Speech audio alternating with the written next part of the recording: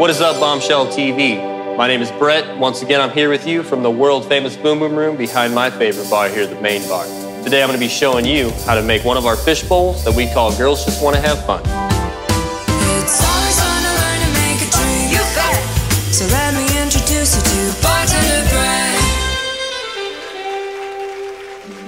All right, so Girls Just Want to Have Fun. Great drink for you and your friends, girlfriends hanging out. Guys, you know, we like some drinks like these too. So, here's what we're gonna do. Today, all my friends aren't here till Friday this weekend, so we're gonna go ahead and keep this a little bit simplified. Otherwise, you're gonna have it in this big glass right here. But today, we're gonna go ahead and break it down and put it into a smaller glass. Kind of go easy on a Wednesday. So, we're gonna start with Absolut vodka. We're gonna absolutely pour that straight in the glass. Normally, it'd be about 10 times that amount. Then we're gonna hit it with some Malibu, some coconut rum. Give it a little bit of that.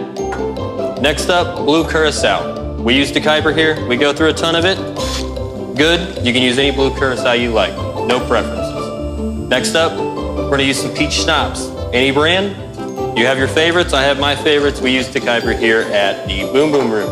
And then we're gonna follow that up with some nice fresh juices here. We got some pineapple juice that we're gonna dump in our shaker.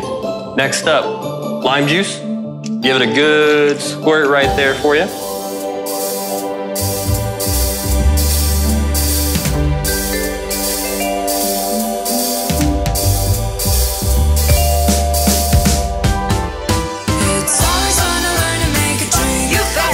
So let me